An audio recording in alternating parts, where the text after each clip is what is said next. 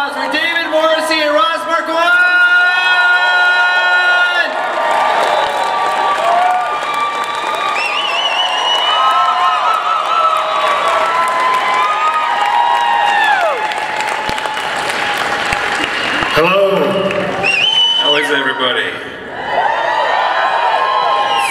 Good to see you all. Such a big auditorium, I love it. It's massive, yeah. Who here likes Shrek?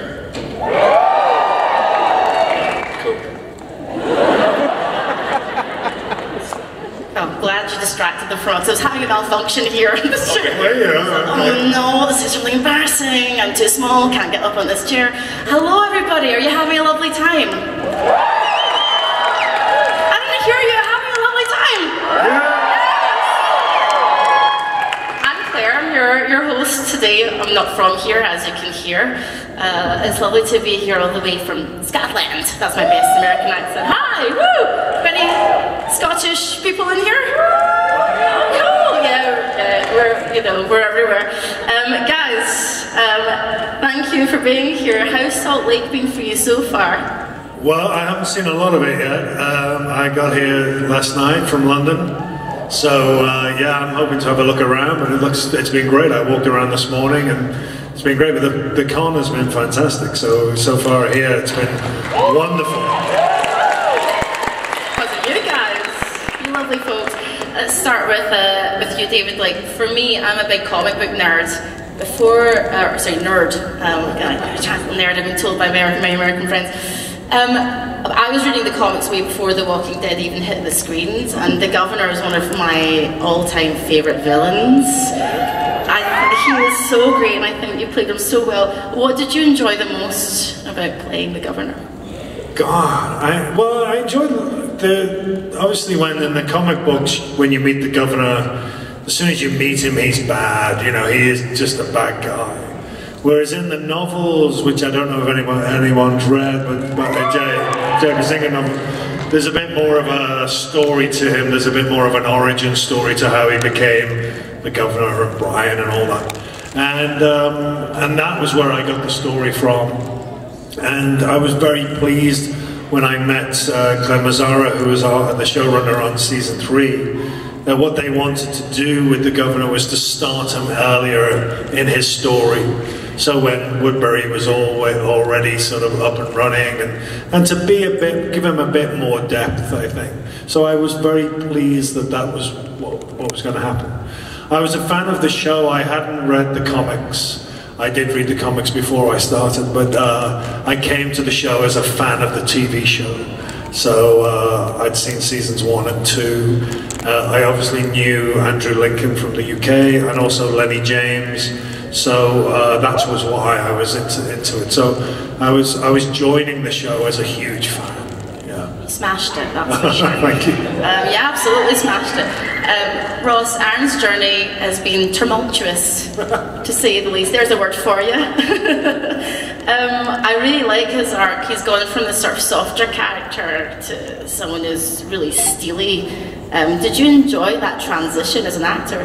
Yeah, it, uh, for the longest time, I, I was wondering if it was ever going to happen because I felt like, you know, first he gets beaten up by Rick, then he gets beaten up by the Saviors, and he gets beaten up by the Heapsters and the Oceansiders. And there was just like at a certain point, and I told Angela, our, our showrunner, I said, when is this guy going to break? You know, because I don't care how nice you are, uh, all of us have a breaking point. and I just wanted to see a darkness seep into to, to Aaron. And that's when she suggested cutting my arm off, and I said, "Oh, that sounds cool. That sounds great." And then, uh, and then you're like, "Well, then, then Eric's gonna die, and Jesus is gonna die, and everyone you care about is gonna die, and Negan's gonna bash your friends' heads in." I'm like, "Oh, okay. That'll that'll make him darker, I would imagine." Yeah. So uh, yeah, it's been cool to see him go from like this really nice diplomatic uh, chap to the the, the, the mace wielding machine he is now. You know. I, I know that you get asked a lot about what would you replace your hand with, kitchen utensils and so on. I think one interview I saw you say a whisk or something. Why? That's I- the most non-threatening kitchen utensil. I first of all, I, I make a lot of eggs. I love I love. Oh, and I make cakes sometimes, and uh, I just I, I was saying that the the whisk with the you know the not, not, not like you have to like hand crank. I just think it would be the funniest way to kill a zombie to just like slowly just crank away with a, with an egg whisk in their face. And like, ah, I you don't know. you've thought about this is a blunt sort of object. You'd be there for ages, just like with your watch, kind of like, is this Mix guy it up, going you to know. scramble? Exactly. Yeah, yeah. Um, I want to remind you this is a Q&A panel as well, so if you've got any questions... Oh, we've got two people. I'll go on one gentleman here. What's your name, my love? And do you have a question? Uh, I do. My name's Tianka. Um, I'm actually asking my question for a friend. It's for you, Ross. Um, I was just wondering if we could hear your John C. Reilly impression. Oh, Yeah, we don't want to hear that. Did we just become best friends? yeah. Uh, I, I, I don't know, man, because I feel like I haven't slept much, so I'm probably gonna wreck it. So I don't know.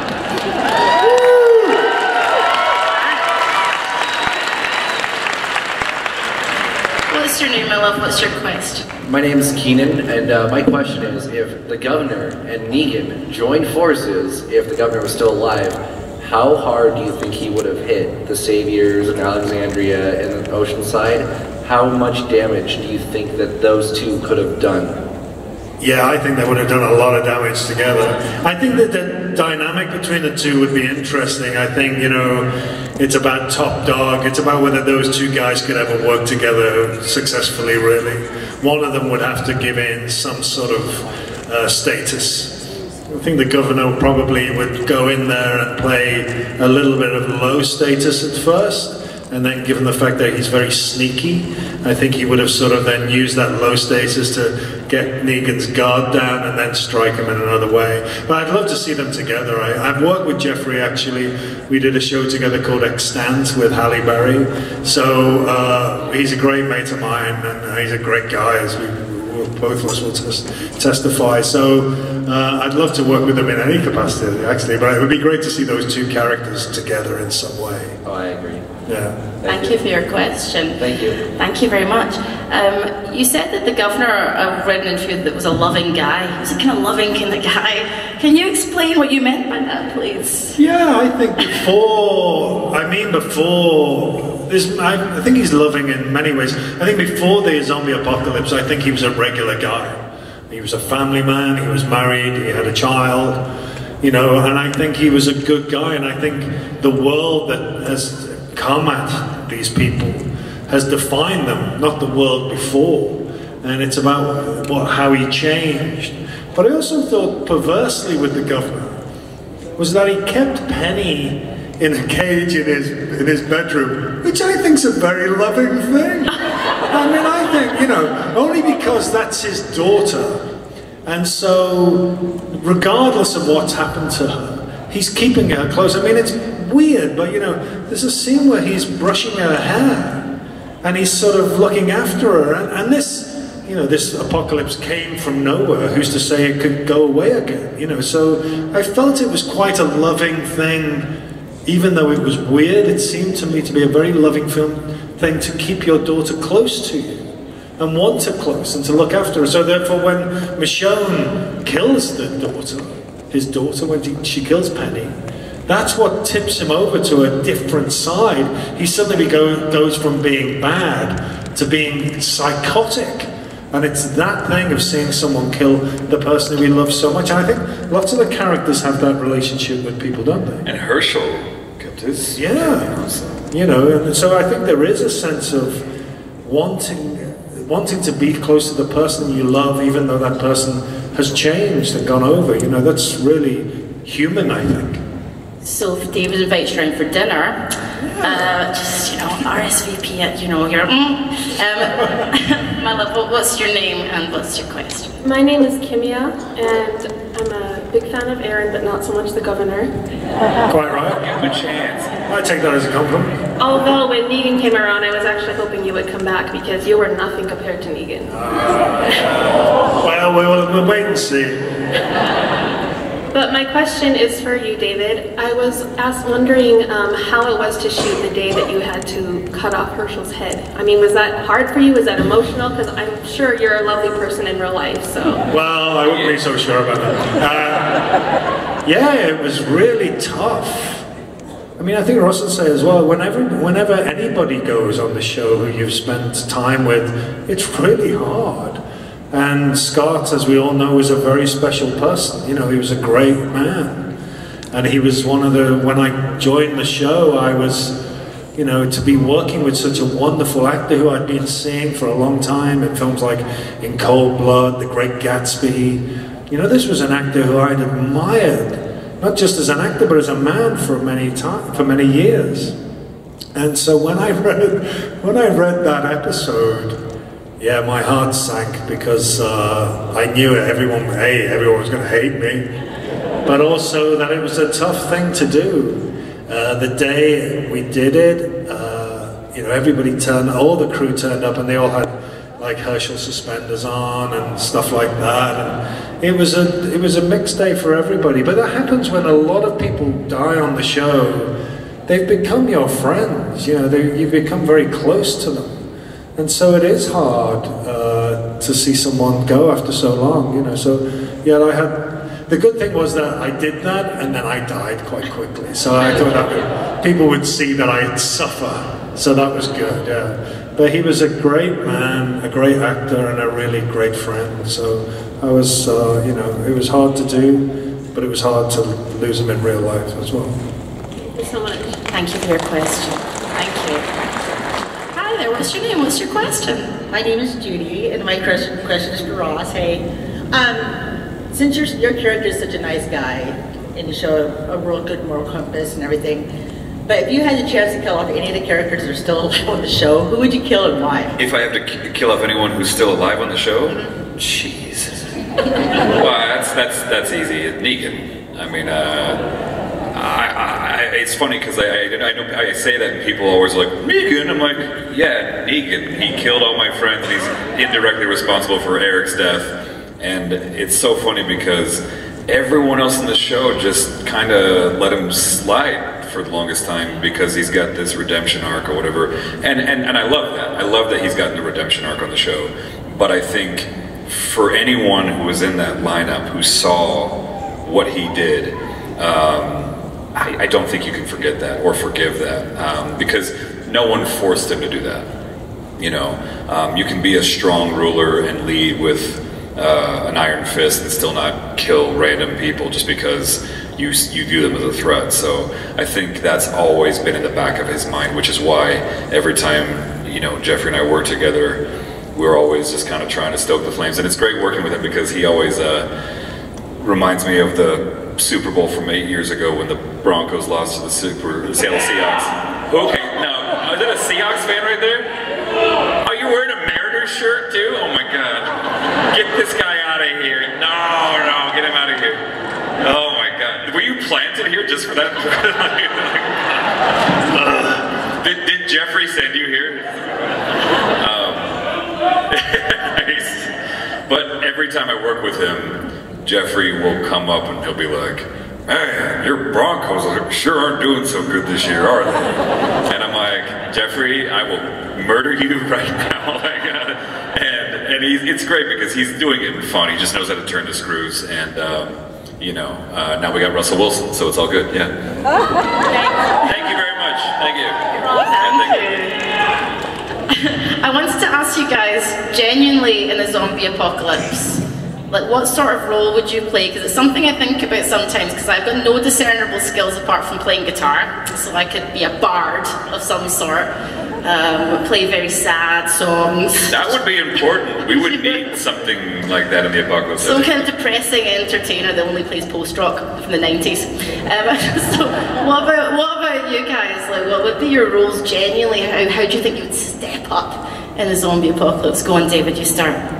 Yeah, I mean, I've been thinking about that a lot um, I think maybe, you know, that sort of self survival stuff of uh, growing stuff, growing your own crops, growing your own sort of food, knowing how to use that stuff, you know, that's, that's the thing I would like to do. I mean, I quite like to do that anyway. I mean, sort of doing a lot of the vegetable stuff in the garden and stuff like that. I know that sounds really boring, like I should get my slippers and sort of check out, but I, I have been doing that. I, I find that really sort of cathartic and nice to do. And I think that's a sort of skill that we've sort of lost about sort of growing and uh, cooking our own food, really. So I've been doing a lot of that over the years. So um, more and more of that, I think. So maybe I could bring that to uh, to the zombie apocalypse, some sort of vegetable cooking. Ross, what about you? What, what would you do? I guess I could do impressions and try to hope that people won't kill me because they're making them laugh. But uh, I, I, I, I, I was an Eagle Scout, and uh, I feel like yeah. so I don't, I don't, not trying to brag or nothing, but like you know, a lot of those skills in the Boy Scout handbook, and I still have. my Could you start a fire? Of course. Yeah, me and you together, we've got it made. I can do. I, That's I'll, it. I'll make one right now. Yeah. Again, Yeah, yeah. Um, but the Boy Scout handbook, uh, if you if you don't have it already, I got to tell you, just pick it up now because if there is an actual apocalypse, you're gonna want that book You're gonna need it. because it's it's very useful. So I'm just saying. Tying knots and all. Yeah, you can do that. Yeah, great. I kind of like the idea of Ross just doing impressions by the fire where I play sad songs and you're going, oh God, oh God, no again, oh my God, while you're peeling potatoes. Yeah. And I'll do my Mo- my Morrissey, not David Morrissey, but my Morrissey. You be the you be the Smiths, right? You can- There you go. Because you do play the. Smiths, right? Yes, Yeah, we can do that. All And I'll be in the garden. Those pesky kids and their blooming songs. Hello, my love. What's your name and uh, what would you, who would you like to ask a question to? Uh, both of them. Hi, Sure. I'm Julian. Uh, if your characters ever got to meet, uh, how do you think they would interact with each other? Well, you know, I think uh, it depends when when they meet in their arc. Really, I think uh, I could see I could see you working in Woodbury. I think you know Woodbury. You know, at one point Woodbury was a really successful place. It was working well. It was sort of had a community. It was sort of dictatorship, but it was working okay. I think we would have, in that point of our story, I think we would have got on very well. I think, you know, what the governor was looking for was a good, solid community, and that's what I think he would have brought. But uh, later on, I think there would have been, uh, once, the gov- once the governor went psychotic, I think everybody was uh, up for grabs.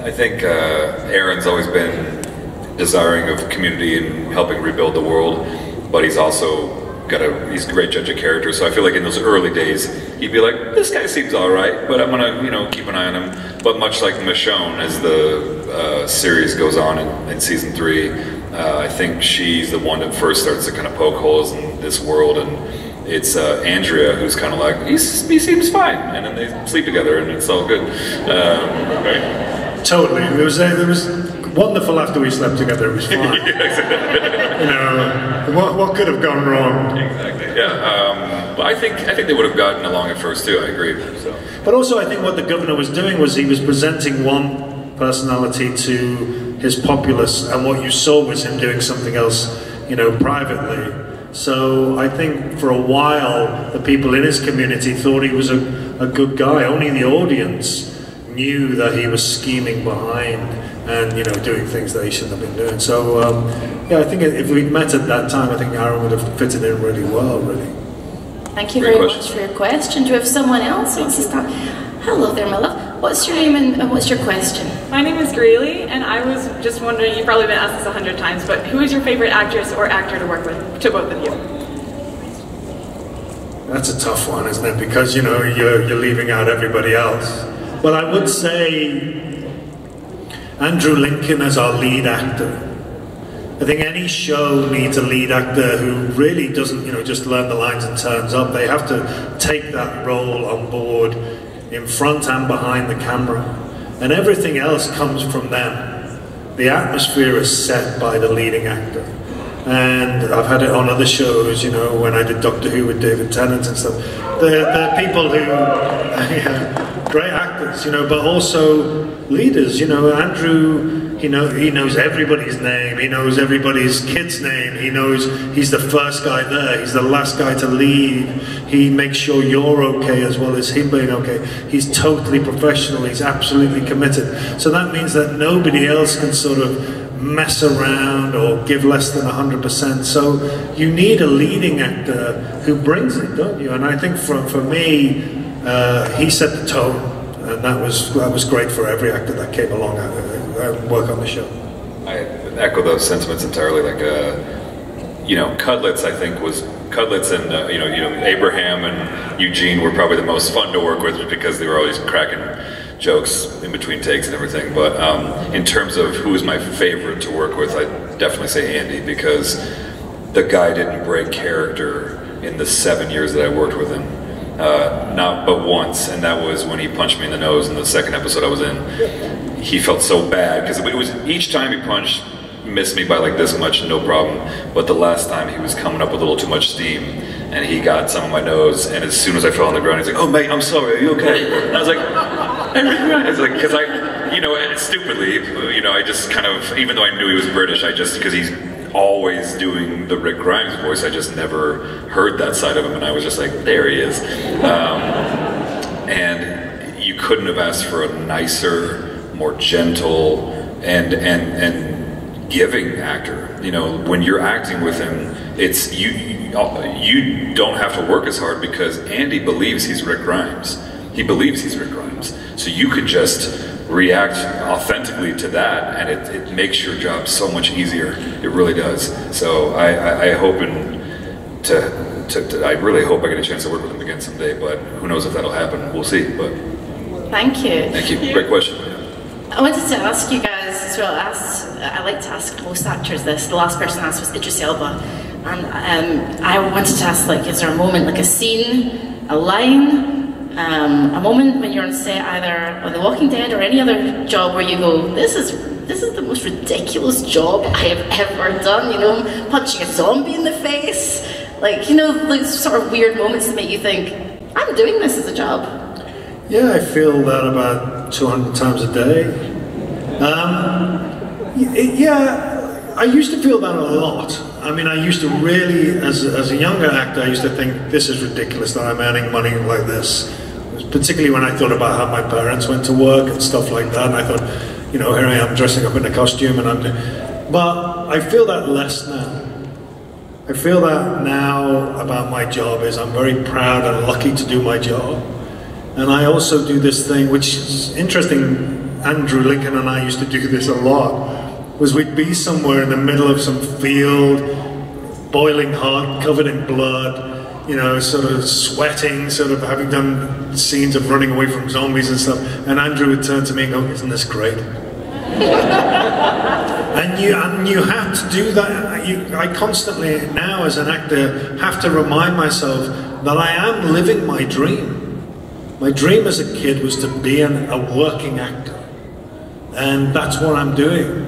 And so I have to uh, remind myself to appreciate it every minute of the day I'm doing it. There are aspects of my job, our job, which is ridiculous. But how great is that? That- That's great as well. So I have to sort of uh, really remind myself that that is, is. Whereas a younger actor, I would slightly think, "What are you doing, David? You know, you should be building things. You should be, you know, look at your hands. You've never done a day's work in your life." I don't think that now. I'm really proud of my job, and I know it's hard work as well. So you know, I'm much more in tune with it than I used to be. I don't know about you. Uh, I think for me, the season six where Maggie and I are trying to find Glenn and we get stuck in the sewers and I was covered in fake poop. Uh, that for me was one of those moments where I was like, wow, I've made it.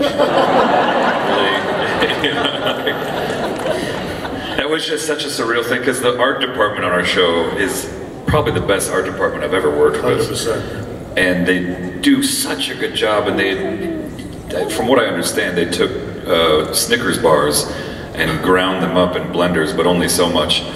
and they just poured gallons and gallons of like sl- slightly. Sorry if this is grossing you out. You watched The Walking Dead, so it probably didn't gross you out too bad. Uh, but we're just covered in this stuff and swimming around in this, and uh, it was really low light. And I remember the zombie that was going to kill me was coming out just right uh, up, up, up, you know, between my legs, and you know, I was like, oh my god, and you know, I didn't have my glasses on because I had terrible, I had terrible vision before I got LASIK, and this thing swiped at my face and and you know, got a got a chunk of my. Um, eyeball and everything and he, he immediately was just apologizing profusely because he couldn't see because he's got the lenses on his eyes and we're both just in this apology cycle. I'm sorry, no, I'm sorry, no, I'm sorry. We're both covered in crap, and we're just like, oh no, no, I'm sorry, no, I'm sorry. It was okay. I, I- should have re- reacted faster. I'm, I'm sorry, no, I'm sorry. Uh, and it was just like, what are we doing? What the hell is this? We're both just covered in poop and apologizing to each other. And he's a zombie. It was cool. Yeah, so that was that was a moment for me. Yeah, yeah. So Cool, I like that. Really cool. Put off chocolate bars for life, but cool. uh, but good for the diet. So, uh, thank you very much for asking a question. What do you want to ask? Thanks for standing up. Um, yeah, my name's Ben. I'm here to ask a question both for me and my best friend who couldn't be here. Our favorite show is The Walking Dead. Been watching it together for years. Um, so, love you, Cody. Um, but for both of you, what is a memory that you have of filming the show that's like behind the scenes, maybe didn't talk about before, but that's like one of your favorite memories or just something funny that happened with your other actors? So uh, I've got a lot actually. I mean, we do laugh a lot on the show. I mean, we do have fun. You know, I mean, there's a lot of things that go not just go wrong, but we have to. We're there for long times. They're long days. So mean, and it is a great cast and crew. But I just started. I just started on the show. I was very nervous. You know, I knew I was entering this great show, and I was sort of. I knew it was a big character and stuff. And Michonne was there, and she was with her two walkers, the guys who had no arms and stuff, and no jaws. And they were amazing, and I saw them at bed and just thought, wow, this is one hell of a show. And then I got lost on the set, and I was walking around, I didn't know where I was. And I walked out into a courtyard, and the two zombies with no arms and no jaws were having a cigarette outside. and I sort of went out and I saw them sort of having a cigarette, and it was the weirdest thing I'd ever seen in my life. These two guys who had no jaws, so their mouths were quite far back. And, and I just thought, this is a weird show. This is the weirdest show I've ever. And one of them was going, hi man, oh, hey, how you, how are you doing and stuff. And I was like, this is crazy. So that was weird. I remember, you know, Scott and I used to have some great laughs on the on the on the set all the time. My other one was uh, I had to drive a truck at one point with Michael Rooker in it, and uh, and Rooker was trying to make me laugh. I was driving along, and I had a temporary eye patch on because I'd just lost my eye. So I jumped in this car, and we're on camera. And I, at one point, I, thought, I don't know where I'm going. So you actually see me on the set going, driving, and then go. It was just crazy. And Michael telling me that, you know, we drive on the right side of the road, and I was like, yeah, but we're in a field, it doesn't make any difference. So all those lots of things really for me. I think the same thing for when you see the, the walkers in their uh, natural element, you know, when you realize that in between takes they're just lovely people who are just trying to avoid the heat like everyone else. And I remember my daughter and Judith, uh, so Gracie and Judith were trying to teach a few of the walkers how to floss. and if you watching zombies do this while they've got the, the freaking zombie makeup, I was like, this is the weirdest thing I've ever seen in my life. Great floss, by the way. What's that? I still can't do it. It's been many Yeah. years. I, my, both, and I, I, actually, I, I learned kind of how to do it during the pandemic, and I came back and I saw my Annabelle, who plays my daughter, and I was so excited and proud until I was like, Annabelle, I, finally got it down, and she looks at me, she goes, Ross, that is so 2019. Harsh. As if it wasn't feeling old enough, I was like, damn, okay, thanks. I remember once being out in Atlanta. I was in Whole Foods or something, and this woman came up to me, you know, normal dressed, and she went, "You cut off my head last week." And I was like, "What?" And she'd been she'd been on the show as a zombie, and I and you forget that there, there are people who live in the city with you. You know, you just see them around. That was so weird. Thank you for your question. Thank you. Great question. Thank you. Oh, look. It's a Mario. It's a Mario. It's a me. It's a him. It's a him. What's your question? Yes, um, I'm just letting you guys know I have been watching The Walking Dead, so uh, thank you, Hayden, if you're seeing this. Um, so my question is, is that, um, oh my gosh, I'm, I'm trying to get, I'm trying to gather my thoughts here. Hold on a second. If there was that one thing you want to change in The Walking Dead, what would it be and why? No Uh, my death, actually, I think uh, I was so close to, like, me and Rick, he was down, he was out, he was never getting up, and then Michonne came and saved his life. But um, I, I would have liked to have been on the show longer because I just loved doing it. I mean, I really love the character. I love being with the, the cast and the crew. Has to be said, that it's the best crew I've ever worked with in my life. I think they, the, you know, Georgia, the conditions are quite tough down there, and the show demands a lot from the crew. And I think Russ would agree that you know they're just out of this world to work with. And you see what goes on in the front of the camera, but the work that goes on behind is unbelievable. And so I missed it. So I would have changed my death. I would have liked to have been on the show a little bit longer. Mine's, mine's probably less what I would change in the show, but more how I uh, came onto the show in the first few seasons. I was in such a bad place financially emotionally. I was like hundred thousand dollars in debt. I was I literally decided to give up acting, uh, and I could quit. I was about to move to New York to pursue photography and art and writing, which probably would have driven me even even further into debt. But I was like, at least I'll be in control of this because with acting, you have to prove that you're worthy of a job every time. You know, even now we, we don't get straight offers. Oftentimes you'll have to go and, hey, I, I was in a few things, but can I get a new job? And they're like, well, we'll see. Let's see if you can act. You know, and it's always like that. But with photography and art, you just make your thing, and if someone wants to buy it or someone wants, likes it, great. Um, so I'd really just given up entirely, and then when I got this opportunity, I, I, actually told my manager I didn't really want to go in for the audition because I didn't want another rejection under my belt before I transitioned into this new field. And uh, when I finally got the job, amazingly, I, I, still can't believe it happened on my birthday eight years ago. Um, I was overjoyed and then scared shitless because that was one of my favorite shows. And the last thing you want to do is be the person that messes up one of your favorite shows, right?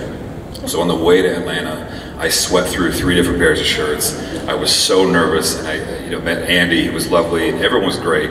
But those first few seasons, I was so nervous about, um, you know, getting killed off, and, and you know, I, I, I, I want to be a part of this, but I, just, you know, I, need this, I want this, and, but I, but I was just not living in the moment. And I remember Josh McDermitt pulled me aside, Eugene. He pulled me aside, and he's like, "Dude, you got to chill out with you know whether or not they're to kill you because none of us know if we're to live or die on this show ever, and you just got to enjoy it. And that I, I, I, took those words home and I thought about it for a few, and then I finally just started to just relax and enjoy it. And it was the best lesson I ever got on the show and in life because we don't know how much time any of us got. You know, none of us do. And so I think it's really just important that we take moments to say, "Hey, man, isn't this isn't this great? Like, look, we're in Salt Lake City. We're I mean, it's a beautiful city. It's a great show. You're you're dressed in a Mario outfit. Like, that's awesome. You know, like everyone's having a good time. Like, this is great. This is great. You know, and and I think if we don't take time to acknowledge those great moments, we'll miss the point entirely. And I was definitely missing the point the first few years I was on the show. Thank you for that. Thank you very much. Thank you. I like that. One life, one timeline. Okay, what are your names and what is your question? Um, we were wondering what your most physically demanding scene that you ever had to do on the show. Physically demanding scenes. So it's all it's all pretty demanding uh, physically, uh, but I think I did uh, that last scene uh, where I attacked the prison, and uh, you know it's really there's there's a great guy who was on the seasons I was on who was a pyrotechnic guy called uh, Darrell Pritchett, and uh, so he blows everything up, and uh, and I played golf with him at the weekend. He was a great guy, and he said, "Oh, when we get to the prison." It's going to be great. It's going to be great. And I was like, oh, what's happening, Darrell? What's happening? He said, I can't tell you. It's going to be great. And then I read the episode and I was like, we blow it up. I mean, this is crazy. This is and it was about four days, and it was really hot. And it was killing Hershel. It was having the fight with Rick, being killed by Michonne, all that stuff. It was attacking the prison with this these massive explosions. And the great thing about Darrell is, you know, he does big stuff, but you always feel safe. He's great at just making you say, look, this is it, this is what's going to happen, explains everything to you. But that those four days, and also I knew that they were going to end with my death, so emotionally I was quite all over the place. I remember them well. They, I still have uh, bruises from that, but that time. But that was the big physical, physical time for me. Uh, my, five years ago, when I'm trying to convince the Oceansiders to join the fight against the Saviors, um, I'm supposed to be on a hunger strike. And if anyone who's ever worked on a film or a TV set knows, it's hard to stay away from crafty, especially on that set. Like we have some of the best craft services in in the, in the industry, I think. And, and like I like to eat. I like to eat, especially when it's like really cold or really hot, and there's nothing else to do. You're like, no, I have another candy bar or Snickers, or whatever. It, it didn't work. Took me off it, but um, I, I emaciated myself for like five days leading up to it. So I was I was smoking a lot of cigarettes, eating apples, did the Christian Bale method for machinists, and I was just like trying to like lose as much weight as I could. And um, I, I, I was so weak that I could barely stand up. And then it was at the end of November. People think Georgia's very hot, and it is. But towards October, November, December months, man, it gets cold. It gets really like that wet cold that gets in your bones, you know. And uh, for a couple nights in a row, I had to basically just be be leaned up against a tree, you know, waiting for uh, them to come out. Of course, they don't come out, but the the walkers do, and I have to fight all these walkers over and over again. The ground I remember being so frozen solid, and they had this fake rain just pouring on us over and over again. And you know, it's not heated or anything, so you're just doing the best you can and fighting and rolling around in the mud and the, the blood and the, the water and everything. And then in between takes, I remember they would just throw an emergency blanket over me and I'd just be huddled by the fire. And it was, just, it was, that was intense. I, I, I they, they thought I had hypothermia towards the end of it, but um, all good. Yeah, so we do, we do some fun stuff on the show. Yeah, it's great. Thank you very much. I've got time for one more question, and I'm going to have to ask you about the last episodes. Uh, so we've got one more question. Let's go for it. Okay, sir, what's your name and what's your question? My name's Jake, and I'm a huge fan of the comic books and became a huge fan of the show. Uh, every time we lose a character that actually made it through the comic book, it's always kind of depressing. Um, but there was some really epic battles displayed in the comics and in the show. What were your favorite scenes that you guys had a chance to be a part of? Um, there was a scene where we, uh, I, I was stalking Andrea, and she was in like a barn, and I really, just because there was, there was not a lot of dialogue in that, and uh, we approached it very much like some sort of uh, psychological horror film. So we used a lot of different sounds, a lot of sort of scraping of stuff. Like ch There's a lot of that. And then I, I, I was whistling some song which sort of echoed everywhere. Uh, and that, I was really pleased with it. And also because there wasn't a lot of dialogue, I was able to talk with the director of that particular episode. And sort of, we brought in a lot of stuff. And when the episode came out, that stuff was still in there. So I was very pleased with my input in that episode. So yeah, that was that was a really great thing to do. I really love that. But I also love the attacking of the prison. And then I really love the end of uh, season four when the governor comes back and he's just on the floor and he's looking for death and then he discovers that new family and he decides to play low status in this group and he just can't do it. But I love that arc as well when I came back in season four. Um, I think the lineup, as brutal as it was, and I think uh, I don't know, I don't know if I'll ever want to watch that episode again. Uh, it was so brutal to shoot and such a um, disturbing episode to watch and to be a part of, of course.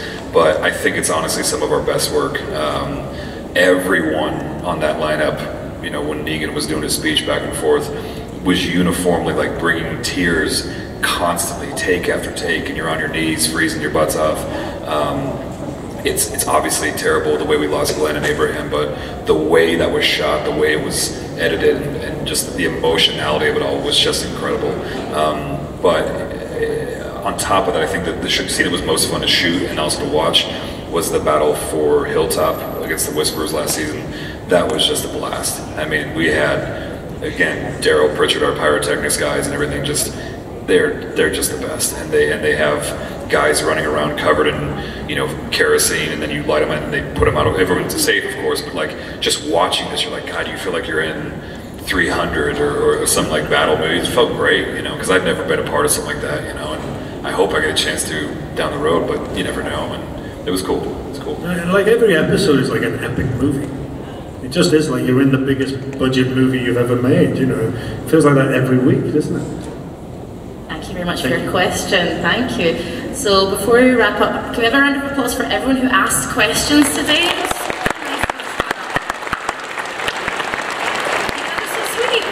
Okay, so Ross, it's come to an end. The last eight episodes are airing very soon in October, beginning of October, right? So, I'm not going to ask you for spoilers. Everybody dies. Everybody dies. It's very sad. It's a very sad day for everybody. Literally everybody in the show, they just all die. It's very sad, believe me, believe me. You're gonna you're gonna cry your hearts out, okay? You've never seen something so sad in your entire life. It's all death, just nothing but death. Blood, sweat, tears, everyone dies. It's very sad. You're gonna love it, you're gonna love it.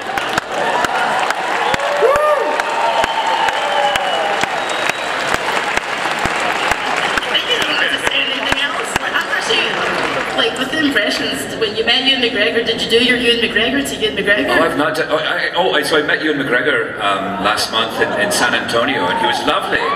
Everything he says, he's just effervescent. He's very happy to be everywhere he is. And uh, I met him and I said, I'm a, I'm a big fan. And he goes, Oh, lovely, great. And I said, Well, I can't talk right now because I'm so awkward. I'm so happy to meet you. And then I just trailed off and I didn't, I didn't do my impression. But Very good. Uh, 10 out of 10 for the Scottish accent.